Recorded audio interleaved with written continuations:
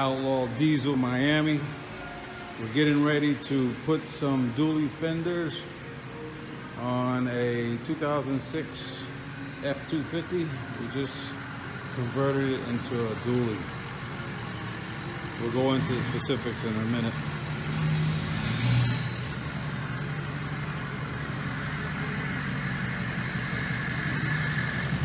All right, so we got, this is the new 2020 coronavirus special at the Mad Mad World of Felix Alderman, Miami Outlaw Diesel. The problem is that he can't even pronounce my name correctly. It's Alemán. Oh, wait a minute, I thought it was Bullwinkle. No, come on. All right, Rocky. and we're doing an F-250 to F-350 swap with Rocky, my personal assistant here. And uh, you can probably do this at home. The hardest part of this build and to do and get a truck from single wheel and put it to dually is the fender cutting. So if the owner of this vehicle sees us cutting into his truck, he's not gonna like it. So in short, what did you do? Well, what we did was we changed the rear end, of course. You got to put a one-ton axle in there. And uh, dually axle, of course, from a Ford. Uh, you have to put the adapters up front, so you can put the dual wheels, type wheels in the front, and put the duals in the back, and probably get yourself a dually. But the fenders, in the state of Florida, you cannot be riding around with a tire sticking out like that. But as you notice, I really don't care, and I still drive it anyway. Uh, we're gonna go right ahead now. We're gonna start cutting into into this fender. So if this ever takes a load or it gets a really hard hand or it starts to articulate, it doesn't hit this because there's a wheel right here now. It doesn't go into a fender. Ah, very good. All right, let's get going. Hold my beer and watch this. All right, so what are you doing there? Oh, you damn blind! I'm marking what he needs to cut. Oh, my drawing skills.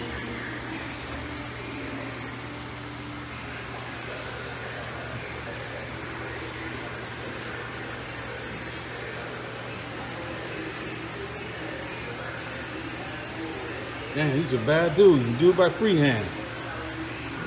Yeah, sometimes. Mad, mad Dr. Diesel.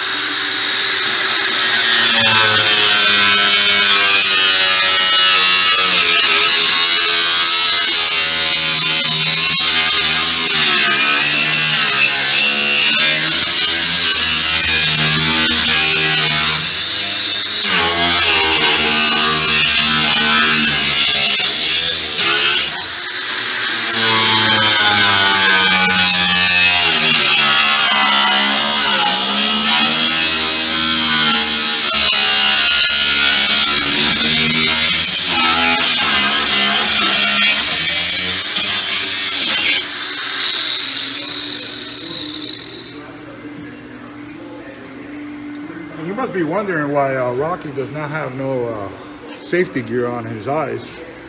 But you must be noticing that I got my safety glasses on. They're clear lenses, and I wear safety contacts. Well, I think you just convinced him. I think he went to go get a pair. Sometimes, always- sometimes you do make sense. Yes, sometimes you got to be dumb to be tough. That's what uh, Gene is doing here. Mr. Rocky, aka. Uh oh. I guess that he did not put on his safety glasses, and we'll be rushing him to the hospital before this build is done. Yeah, where are they at? They're very uh, inexpensive at Harbor Freight, item number 43946 here, that, you know, you're not gonna lose an eyeball for a dollar. Like Rocky over here. So Rocky here is your, you want me to put them on for you? Yeah, I would. We'll put them on for you there. Just in case you don't know how to do the, do the installation. Installation on it. Uh, I think we should leave the wrapper on. It looks better. And guys, uh, take off the wrapper. Harbor Freight sells some quality tools. You buy it and you just throw it away. Here you go, sir. thank you. You can go back to cutting.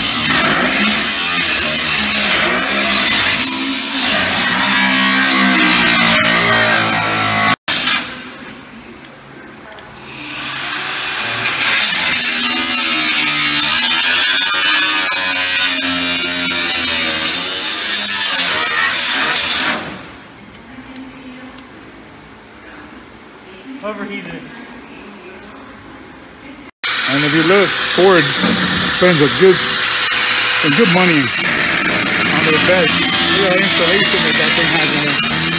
You probably can't hear me because this guy's damn grinding. But yeah, they do put a lot of insulation in there. Pretty cool how they do that. Probably that that that spray on stuff. Beautiful cut there, sir. You did a great Thank you. job. It'll obviously have to I'm lying to him.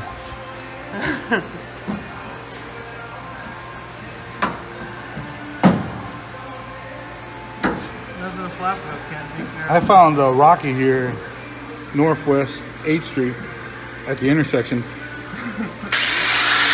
he had a sign out that says, uh, "Need money." I told him I can give you a job, and he's been working here ever since. Works out pretty good. We're just putting this on here right now. We're mocking it all up, but this these don't come painted. Don't think they come painted. You gotta get your paint shop or whatever, maybe your paint or whatever it can be. You want to brush on Line-X or whatever, or whatever you want to do to these things. But they're fiberglass, they're really strong too. On this shore bed, the fuel nozzle is on the fender.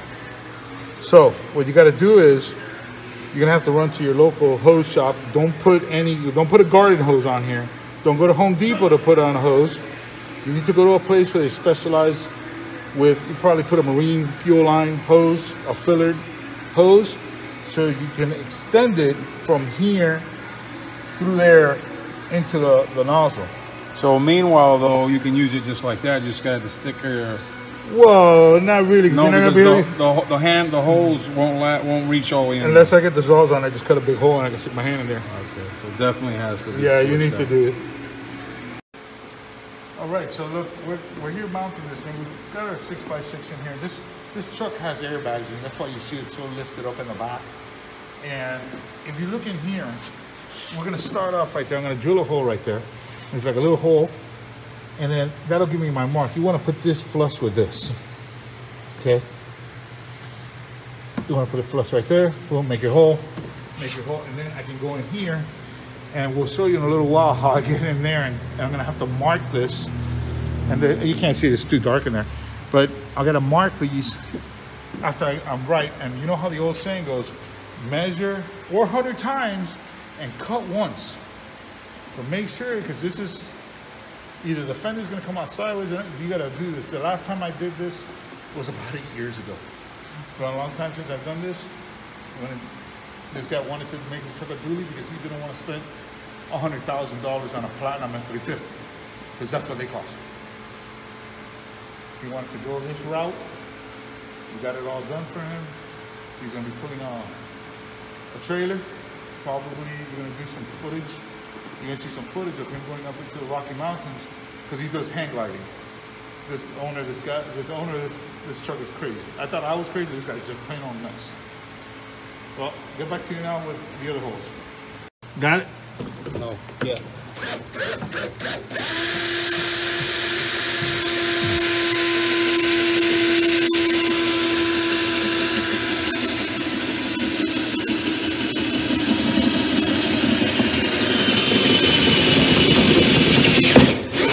Oh wow.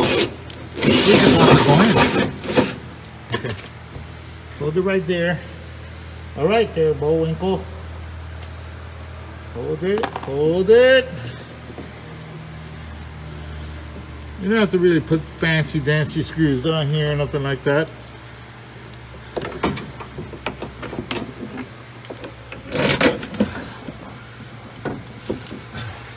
Once I get her all set up, I'll put Loctite and lock washers and everything. Just to hold it up for a minute.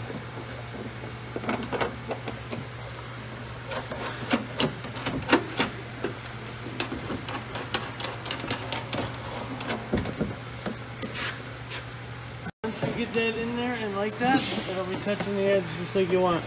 Okay. So put your hand behind it so when I'm drilling through, I can catch your hand. Okay.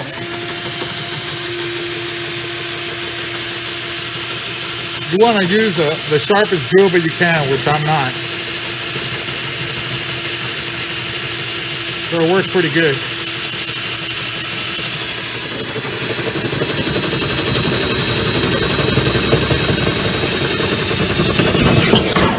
Oh boy. I just want to pull in.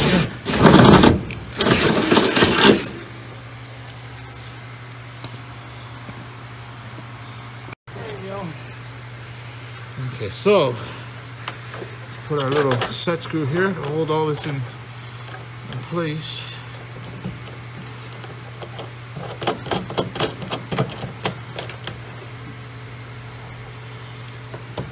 Oh, this is really, really flush. Huh? This is nice and flush over here. They did it exactly with the contours. Yep. Yeah, but I, I guess when you when you tighten her up over here, this all Yeah. Stuck Oh, in. man. Yeah, yeah. You look up in here,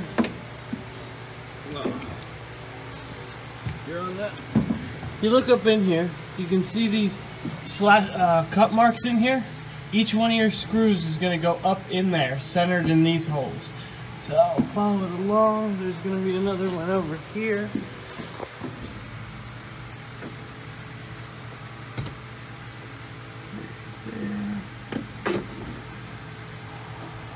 So you're marking the holes with what?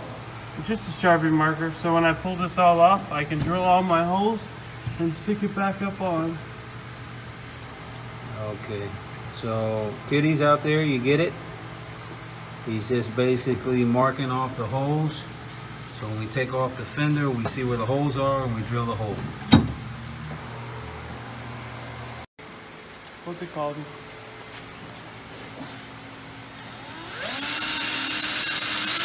Always remember to measure many times before you do this, or you're going to be putting out the welding machine and you're going to paint this truck. Just keep that in your notes, ladies and gentlemen. Boys and girls.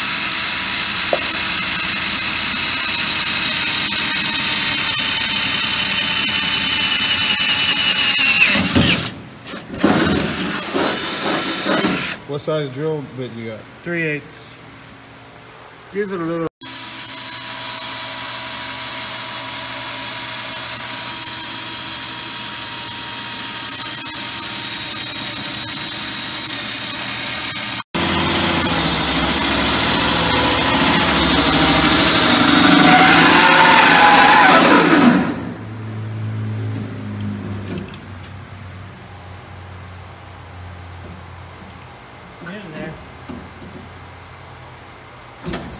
Had to make a little access hole to get to the last bolt on.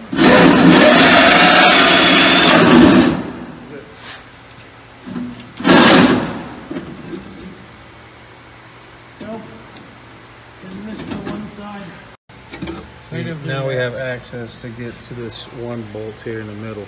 All the rest you have easy access, no cutting inside. All right, so we got the middle bolt, both the bottom bolts. That's good enough. Send it.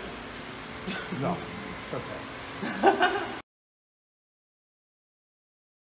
We're here with the Mad Dr. Diesel, Miami Outlaw. Uh, this is going to be the second part of the fender. Well, dually fender install. F250 to F350, coronavirus month three. Well, we couldn't go to our supplier, so we had this laying around. It's a fuel fill from uh, 250. But we're gonna do a little bit of slicing and dicing, make a little extension because since the fuel door is all the way at the the dually fender, we have to make a little bit of extension to make all this work. I'm gonna double clamp everything. I'm gonna double clamp everything and let it ride. She should be good. What type of hose are you going to use? Oh well, it's gonna be the stock. Well, it's the stock hose from factory. If, but if you want to go to the uh, to your supplier for hoses, this is the type of hose you use.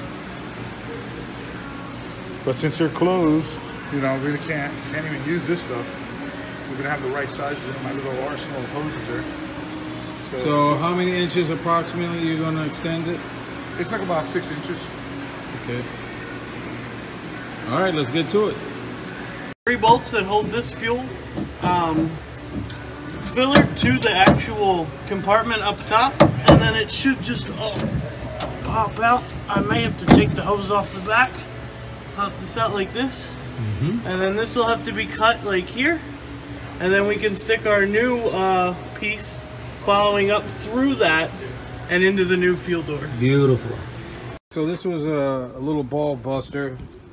We had to take off the gas filler base from the original fender and we was wondering how the hell does it come off because it was really stuck on there and we there was no bolts until uh, Gene figured out that there was spot welds on it. And if you can see the spot welds are right here one two three and four so those are the four spot welds that he had to drill out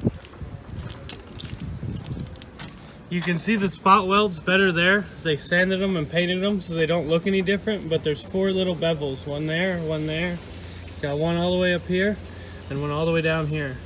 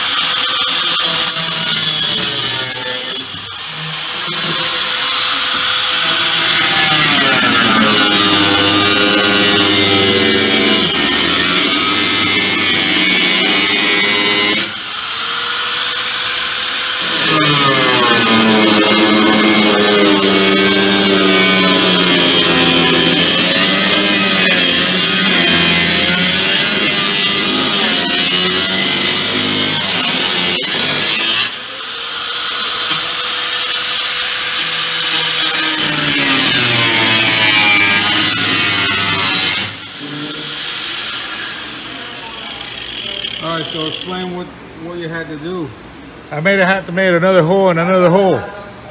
another hole and another hole that's because of the, The angle. the angle of the holes wasn't Yeah. going to be. It wasn't going to be correct. And then the guy would have been very pissed off because fuel was going to hit him in the in the lap.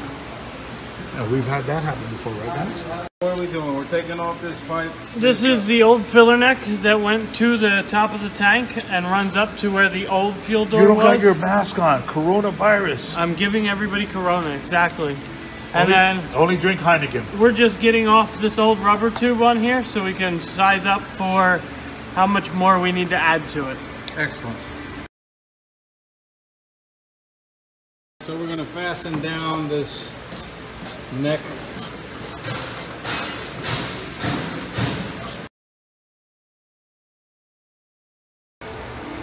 All right, there, Bullwinkle, ladies and gentlemen, boys and girls. We're almost done here. We got our little filler uh, pipe on here, and this was the old one. So what I'm gonna do is I'm gonna cut here, run a hose extension here, and a hose extension right here, and we're gonna call it a day with this side. And all we gotta do is a little bit of electrical and put some uh, marker lights on. So uh, I'm gonna get Rocky the squirrel over there to cut here and cut here. And we'll call it a day. We'll show you what how it came out.